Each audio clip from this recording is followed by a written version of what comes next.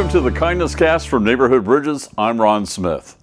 The purpose of the Kindness Cast is to showcase the people that are making a difference in our communities to bring kindness to those in need. Since our founding in 2017, Neighborhood Bridges has grown to serve over 49 communities across four states. On today's episode, we're joined by Rick Bannister, Chief Believer and founder of Neighborhood Bridges. Welcome, Rick, and thank you for joining us. It's been another amazing year of impact for Neighborhood Bridges. Can you share with us how this year has been just another year of tremendous growth for the organization in so many different ways? Yeah, thanks for having me today, Ron. I really appreciate your taking the time uh, to spend a few minutes with me. So, uh, we're in our seventh year for Neighborhood Bridges this year in 2023, and uh, we are here at the week of Thanksgiving. I'm happy to report that our communities have driven impact to over 89,000 students and families just this year. That's so far this this year.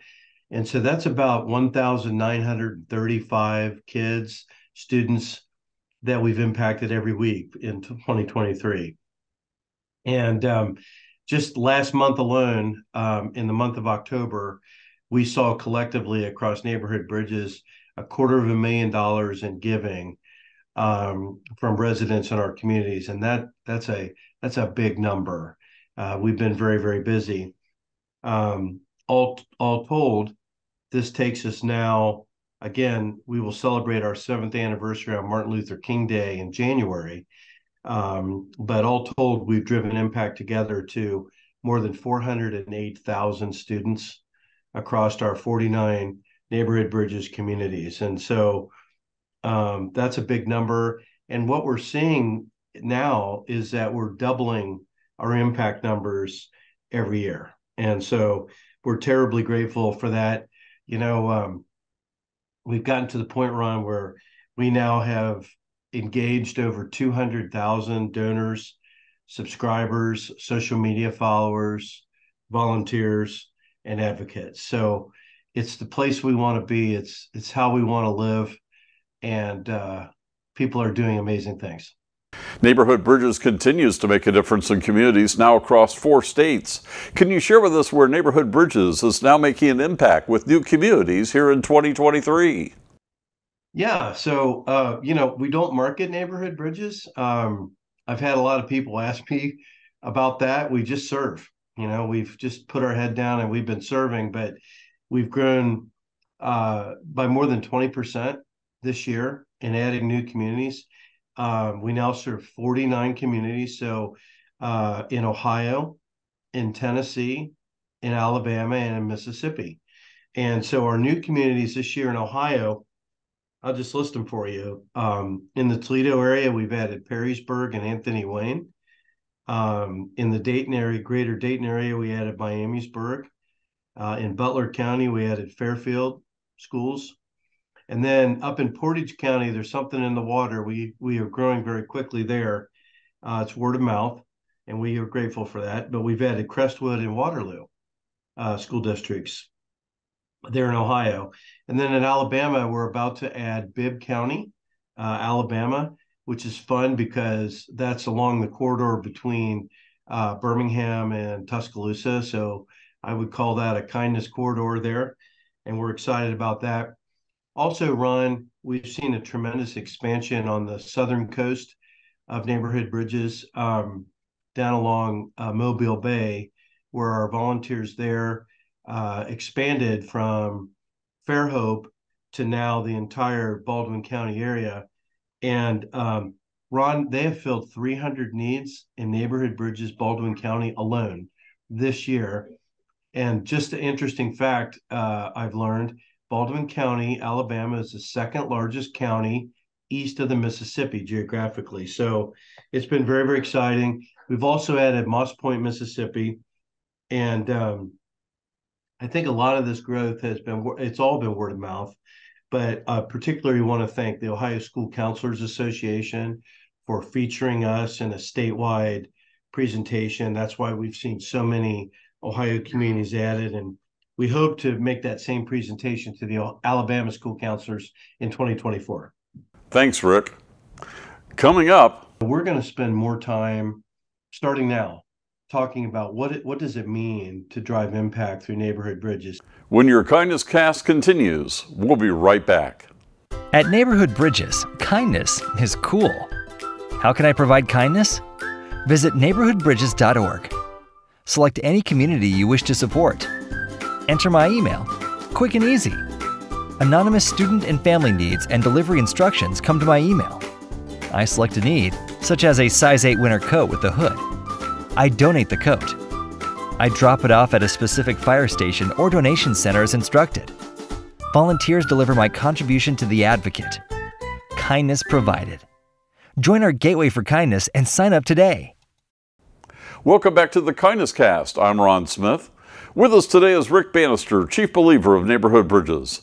One of the greatest ways the Neighborhood Bridges makes a difference is when we're able to meet the specific needs of a student. Can you describe for us what that impact looks like and how it all comes together?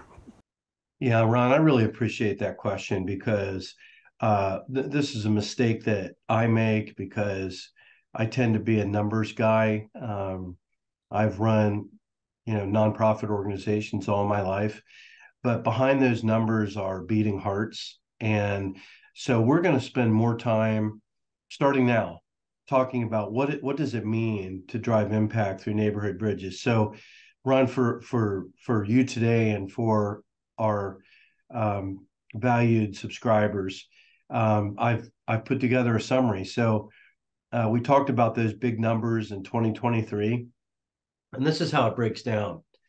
Uh, so far this year, 22,000 students are receiving clothing assistance through neighborhood bridges. That's shoes, coats, pants, shirts, socks, undergarments, leggings, things like that. 22,000 students.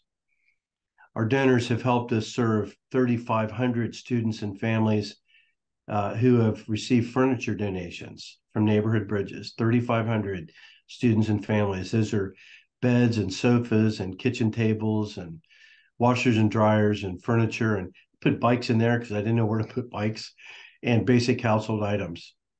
Um, you know, and I my message to the community is whether you're in Sylvania, Ohio, our northernmost neighborhood bridges community, or down along Baldwin County, Alabama, or anywhere in between that 1,200 miles of kindness that we serve.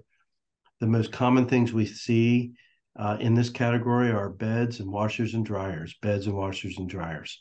And so um, we're happy and grateful that we've been able to serve so many in that area. 42,000 students, Ron, are receiving personal care items this year through neighborhood bridges. These are the things we've learned that our students are asking for the most. Um, the basic things in life. They're asking for soap and shampoo and deodorant and feminine hygiene products, undergarments, toothpaste, toothbrushes, things like that. And I want to just put a footnote though there. We love our student success centers. That's what we call them now uh, where students can come in and get what they need because that gives our trained and licensed school staff an opportunity to spend a quiet moment with that student and likely it's likely if they need these personal care items that they have additional needs and it, there there's a point of um, reflection right there and and uh, the school counselor or the social worker can then post additional needs on behalf of that student and so we can really dive deeper and serve that student in a more holistic manner. 9,000 students this year, Ron, are receiving backpacks or school supplies. 6,000 students or family members are receiving food assistance or snacks during their school day. 7,200 students and family members are receiving financial assistance. This would come in the um, in the way of rent or utilities or school fees or extracurricular fees, things like that. 8,600 students are receiving gifts. Um, we're approaching the holiday season, gift cards or gas cards. And many of these uh, are directed towards the kids with the biggest needs to help them provide for basic necessities while school is out and they can't access food or services during holiday time or spring break time or summer break time. Ron nearly 100 students this year are receiving eye exam and eyeglasses. And we have directly donated eight vehicles this year through neighborhood bridges to families or to single moms. And so we think this is what love looks like at Neighborhood Bridges. And we're terribly grateful, grateful um, to all of our supporters for making that happen. The impact of Neighborhood Bridges is amazing and also very inspiring. What do you feel attributes to this success in serving so many students? I think it's our mission, Ron. You know, I think that we're uber focused on, um, you know, removing this, what a superintendent would call a non cognitive barrier. And I think when it comes to children, we're all in, right? We're seeing it. Um, community members continue to come forward. Um, and so I want to share a little data with you. Um, this is hard because this is the week of the Ohio State Michigan game, and I happen to be a Buckeye. But the University of Michigan did a study a few years ago, their Division of Poverty Solutions. And what they found is what we would find in any community across America. Students graduate at a rate of 92% if they don't uh, face economic disadvantage. 92% is where it should be. But we lose 20% of those kids to graduation. It drops to 72% if a child faces poverty or economic disadvantage and then we we drop all the way to 53% graduation rate if kids um, experience economic disadvantage and also homelessness during their life. Can you imagine? Uh, yes you can because i know you serve. Um, but i think that our focus and our mission um, and and being so um, dedicated to serving that segment of our population is resonating with people everywhere. Um, I also want to remind everybody that our logo is on, in all lowercase, and that's intentional. We created the Neighborhood Bridges logo logo in lowercase because we do not want to replicate services. We do not want to be redundant. We want the opposite. We want to band together. We want to bridge resources, all towards our mission, by the way, and serving children. And I think that I think all of that, Ron, people understand and it resonates with them. Um, listen, Neighborhood Bridges is a bet on humanity, and we've gotten this right. Uh, at this week of Thanksgiving, it's it's nice to celebrate and be thankful for how much people care for one another. Um, it's it's a great world to live in. It's Neighborhood Bridges is a clarion call. It's a clarion call to put children first. And um, we are very grateful that we're able to do that. Thanks, Rick. Up next, we just serve. We just love and serve through neighborhood bridges. And that's, I think, the greatest gift you could possibly have this week of Thanksgiving. A special holiday message when your kindness cast continues. We'll be right back. Groceries, coats for kids help with school fees. There is momentum to kindness. Once in motion, it passes from person to person, community to community. Neighborhood Bridges creates a gateway for kindness. We bridge the gap between those in need and those who can help. Kindness and impact can begin in five easy steps. Form a steering committee of community leaders to help promote your efforts. Include the city, chamber, and others. Select volunteers to be area directors this is a part time role. We provide a toolkit. Determine donation drop off locations. Select advocates to post needs teachers, counselors, social workers, clergy, therapists. Start posting needs. Advocates log in, post needs. The community responds. Needs are met year round. Monetary gifts are accepted online. Monthly giving is an option. To an account set up by Neighborhood Bridges. Kindness provided. Welcome back to the Kindness Cast. I'm Ron Smith. With us today is Rick Bannister, Chief Believer of Neighborhood Bridges. With the holidays here, what would you like to share with the supporters of Neighborhood Bridges?